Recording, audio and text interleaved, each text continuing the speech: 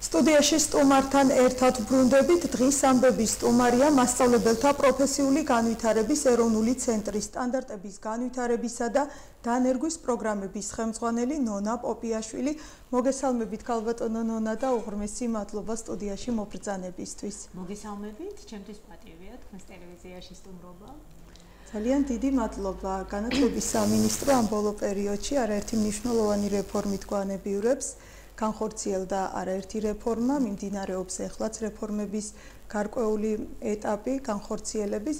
ერთ-ერთი მნიშვნელოვანი იყო, რომელსაც არ შემიძლია გვერდი აუარო, აუცილებლად უნდა დავიწყო ამ თემით, ეს არის პენსიონერ მასწავლებელთა ერთჯერადი ჯილდო.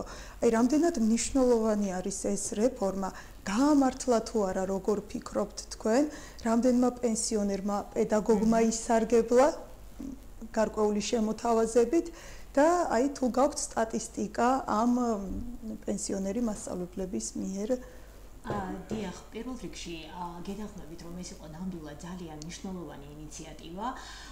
რაც შეეხება გაამართლა თუ არა ამ ინიციატივა, მინდა გითხრათ, რომ ალბათ გაამართლა, რამდენადაც პირველ ეტაპზე ისარგებლა დაახლოებით 6300-მა პრაქტიკოსმა პენსიონერმა მასწავლებელმა, რაც ნიშნავს იმას, რომ ესე იგი ამ რაოდენობის პენსიონერმა მასწავლებელმა გადაწყვიტა, რომ აიღო ეს ერთჯერადი ჯილდო, რომელიც სახელმწიფო მათთვის გამოყო. ეს არის მოგეხსენებათ 2 წლის ხელფასი კლასი, მიცემული ერთ ჯერზე და გავიდა პროფესიიდან. თუმცა ამას რა თქმა უნდა შემდგომ მოყვა ის, რომ უნდა გაგრძელდეს აუცილებლად რეფორმა, საჭიროა რომ კარი სასკოლო სისტემაში შემოსასვლელი კარი გაიღოს ახალ კადრს, ახალ გაზრდებს, ან არც თუ ახალ გაზრდებს, მაგრამ იმ ადამიანებს, რომელთაც სურთ რომ სასკოლო სივრცეში შემოვიდნენ და აიღონ ეს ძალიან მნიშვნელოვანი მისია საკუთარ თავზე, ასწავლონ საქართველოს საგანმანათლებლო დაწესებულებებში სკოლებში ამ შემთხვევაში. რა თქმა უნდა, ეს იყო ერთ-ერთი ძალიან ისეთი მნიშვნელოვანი რეფორმა, მაგრამ მე როგორც ვიცი და ინფორმაცია მაქვს, თქვენ ამ ეტაპზე გაქვთ კიდევ ერთი ახალი რეფორმა, ეს არის მასწავლებელთა ეროვნული სკოლა. რას გულისხმობს მასწავლებელთა ეროვნული სკოლა? რით არის მნიშვნელოვანი, აი რომ გავაცნოთ უფრო დეტალურად ჩვენს ტელემაყურებელს? აა, დიახ, აი ის, რაზეც ჩვენ აქამდე ვისაუბრეთ, ეს არის პრაქტიკოსი პენსიონერი მასწავლებლებისთვის ჯილდოს მიცემა და მათი გასვლა სისტემიდან. აა, თავისთავად გულისხმობს იმას, რომ ჩნდება, ასე ვთქვათ, თავისუფალი ვაკანტური ადგილები ახალი მასწავლებლებისთვის. აა, იმისთვის მეორე ეტაპიც განხორციელდება ამ პროექტის ერთი ეტაპმა უკვე ჩაიარა და ის რაოდენობა მასშტაბლების რაც მოგახსენეთ გავიდა პირველ ეტაპზე, მეორე ეტაპს ველოდებით ჩვენ უკვე იანვარში, რაც ნიშნავს იმას, რომ იანვარში კიდე ნაწილი მასშტაბლების ვინც გადაწყვეტს, რომ ისარგებლოს ამ ინიციატივით დატოვებენ სკოლას და აი იმისთვის, რომ უფრო მარტივი გახდეს მასშტაბლების შემოსვლა პროფესიაში, განათლების სამინისტრომ აი ეს ინიციატივა სწორედ დაანონსა, ეს არის მასწავლებლის ეროვნული ჯილდო. რას გულისხმობს მასწავლებლის ეროვნული ჯილდო? მასწავლებლის ეროვნული ჯილდო და უკაცრავად მასწავლებლის ეროვნული სკოლა. მასწავლებლის ეროვნული სკოლა ეს არის ინიციატივა, რომელიც საშუალებას აძლევს ადამიანებს, რომელთაც სურთ პროფესიაში შემოსვლა, რომ დარეგისტრირდნენ მასწავლებლის ეროვნულ სკოლაში, გაიარო ელექტრონ კურსი, რომელსაც თავაზობთ მასწავლებლთა პროფესიული განვითარების ეროვნული ცენტრის თავაზობს ამ ადამიანებს, აი ამ სასწავლო კურსს და შემდეგ შევიდნენ სკოლებში მაძიებლის სტატუსით. და ეს როგორ არის ქალბატონო ნონა? ეს ყველა ქალაქს, ყველა რეგიონს ეხება თუ აი კონკრეტულ კი ბატონო. აა მასალობლის ეროვნულ სკოლას აქვს თავისი სამიზნე ჯგუფი. ეს არის ის ადამიანები, რომელთაც სურთ რომ ასწავლონ ცირე კონტინგენტიან სკოლებში. აა ეს არის მაღალმთიანი რეგიონები, ძირითადად ან უბრალოდ ცირე კონტინგენტიანი სკოლები, რომლებიც მთელი საქართველოს მასშტაბით გვაქვს რეალურად. აა საქართველოში სულ 2093 აა საჯარო სკოლა და აქედან ფაქტობრივად ნახევარი ცირე კონტინგენტიანია. ყველა იმ ადამიანს, რომელსაც გადაწყვეტილი აქვს, რომ შემდგომ თავისი საქმიანობა დაიწყოს მცირე კონტინგენტიან სკოლაში, საშუალება ექნება დარეგისტრირდეს მასწავლებლის ეროვნულ სკოლაში. რეგისტრაციის დროს მათ უნდა ამოირჩიონ, რომელ რეგიონში სურთ რომ ასწავლონ და ასევე აირჩიონ რაიონები ამ კონკრეტულ რეგიონში. სამი რაიონის არჩევის საშუალება ექნებათ.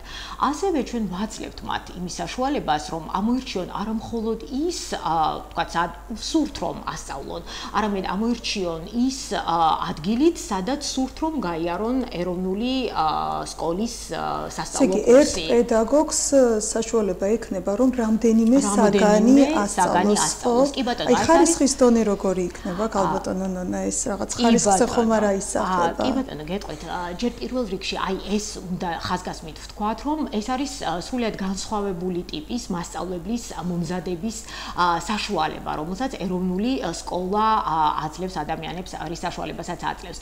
კონკრეტულად ეს განსაკუთრებულობა მდგომარეობს იმაში, რომ ერთსა და იმავე მასწავლებელს საშუალება ექნება ასწავლოს არა ერთი, არამედ რამოდენიმე საგანი, ანუ საგნობრივი ჯგუფიდან. მაგალითად, ერთსა და იმავე მასწავლებელს საშუალება ექნება ასწავლოს ფიზიკა, მათემატიკა და ისტი. აა რაც შეეხება ამ მაგალითად ქიმია და ბიოლოგია, რაც შეეხება ხარისხს, აა მე არ ვფიქრობ, რომ ეს აისახება ხარისხზე. გამომდინარე იქიდან, რომ სოფლიოს არაერთ ქვეყანაში არის უკვე ძალიან კარგად დამკვიდრებული, ასე ვთქვათ, ეს გამოცდილება და ძალიან ბევრი ქვეყანა სწორედაც ამზადებს ისეთ კადრებს, ისეთ მასწავლებლებს, რომლებიც ასწავლიან არა ერთ საგანს, არამედ რამოდენიმე საგანს. განსაკუთრებით საქართველოს პირობებში მე ვფიქრობ, რომ ეს ნამდვილად მნიშვნელოვანია. რამდენადაც აი ჩვენ თუ მცირე კონტინგენტიან სკოლებზე ვსაუბრობთ, ხო, მცირე კონტინგენტიან სკოლებში გასართების რაოდენობა შეზღუდულია. შესაბამისად, ვთქვათ, თუ კი ადამიანს აქვს მცირე საათები, მცირე საათობრივი დატვირთვა, ხელფასიც მისი არის მისი შესაბამისი. აი ამ ინიციატივის საშუალებით მასაუბლებს ექნება საშუალება, რომ გაიზარდონ საათობრივი დატვირთვა, მათი мотиваციაც უფრო მეტი იქნება და მე ვფიქრობ, რომ ეს არის მხოლოდ დასაწყისი. მასაუბლის ეროვნული სკოლა და ის პროგრამა, რომელსაც ჩვენ თავაზობთ ამ ადამიანებს, მხოლოდ და მხოლოდ დასაწყისია. ამ შემდეგ, როგორც გითხარით, ისინი სკოლაში შევლენ უკვე მაძიებლის სტატუსით. აი განსაზღვრული თუ არის რაოდენობა, აი რამდენი პედაგოგი იღებს მონაწილეობას, რამდენმა უნდა მიიღოს, არის თუ არა ამ კუთხით რაიმე შეზღუდვები?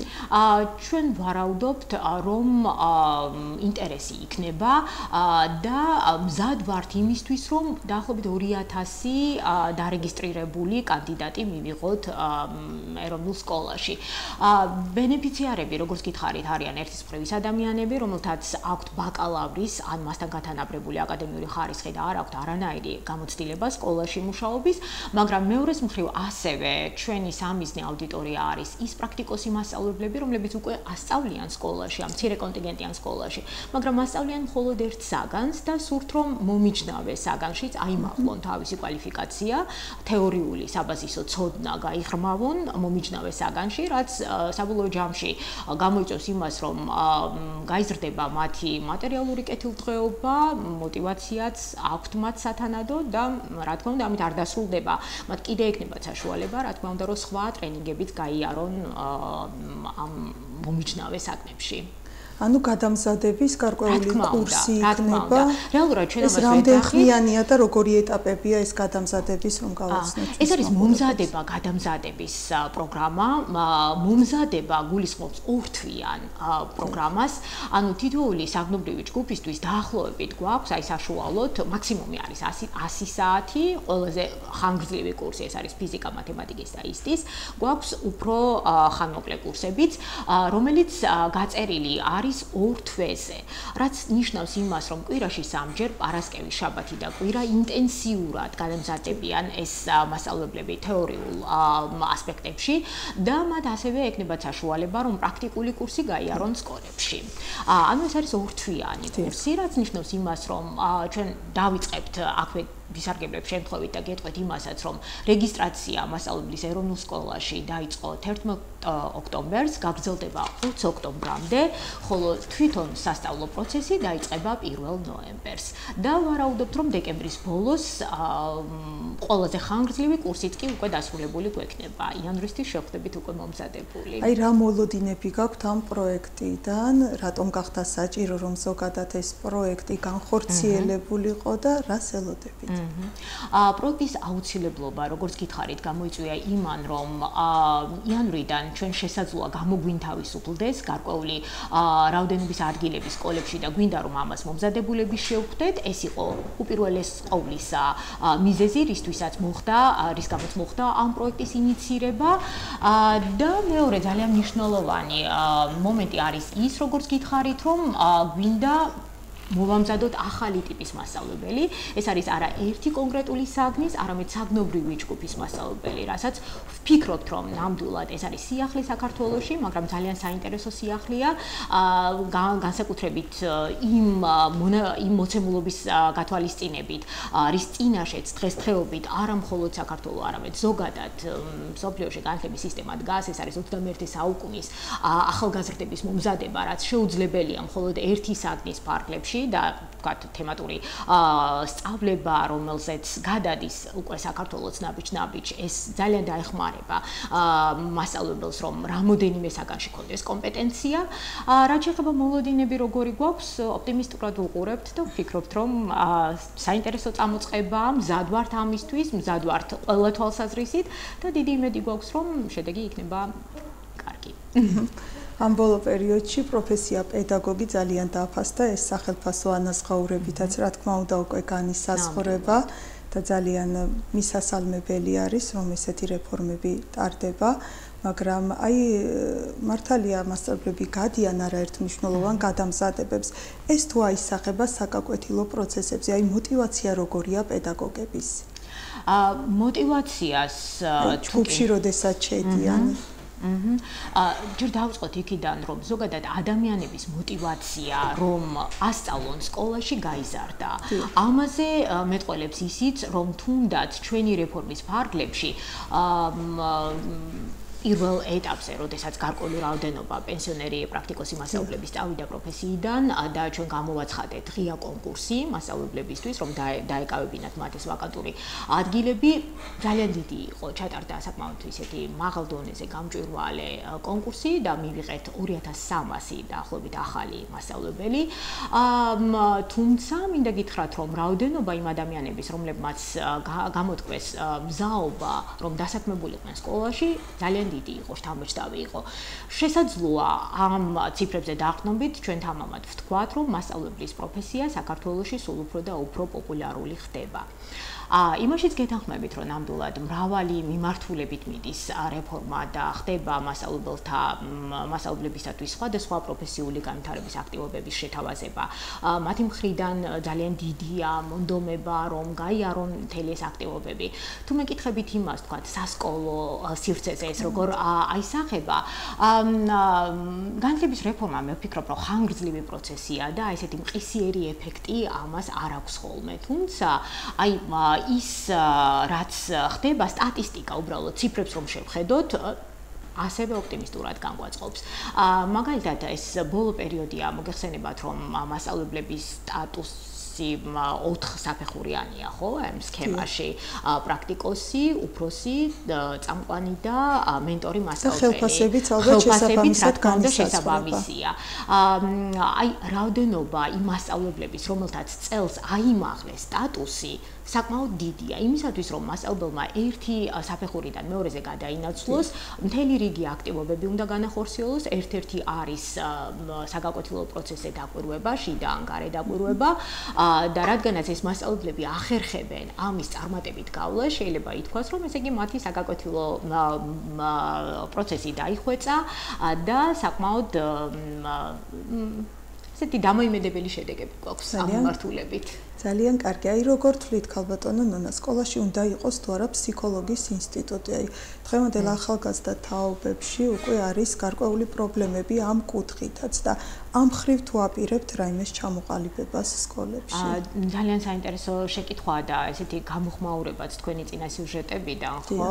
აი, ეხლა იყო მოცხა საჯარო სკოლაში მოხდა ესეთი ინციდენტი. კი, აი ძალიან ძალიან ესეთი ძალიან კარგი რო ყველაფერი კარგად დასრულდა ამ შემთხვევაში, მაგრამ აა სკოლაში განვითარებული მოვლენები მე ვფიქრობ, რომ ადასტურებს იმას, რომ დიახ, აუცილებელია უფრო მეტი მუშაობა, ну ფსიქოლოგის ინსტიტუტი, რა თქმა უნდა, ძალიან კარგია, მაგრამ ამავდროულად მე ვფიქრობ, რომ ყველა მასწავლებელს, რომელიც სკოლაში მუშაობს, ამ ხრივ უნდა კონდეს გარკვეული აა ცოდნა, თეორიული ცოდნა აუცილებლად უნდა კონდეს და უნდა იცოდნენ, როგორ მართონ საგაკვეთილო პროცესი.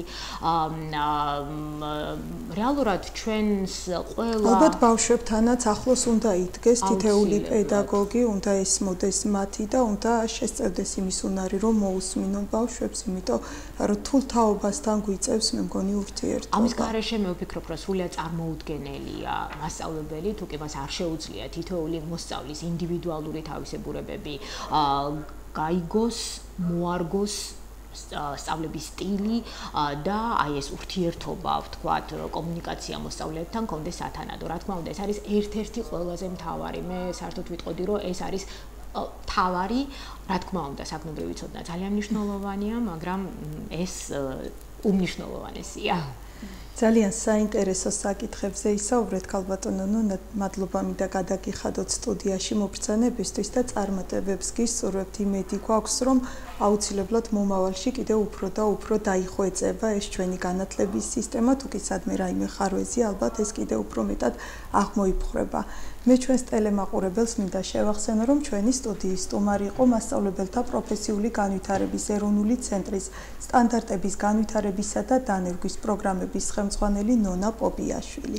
აა მადლობას მოგახსენებთ, ძალიან დიდი მადლობა და მეც იმეც გამოვთქვა, რომ ეს მიმდინარე რეფორმები შესაბამისად აისახება მოიღებს იმ ნაყოფს, რა რისკენაც მივდივართ. მადლობა კიდევ ერთხელ.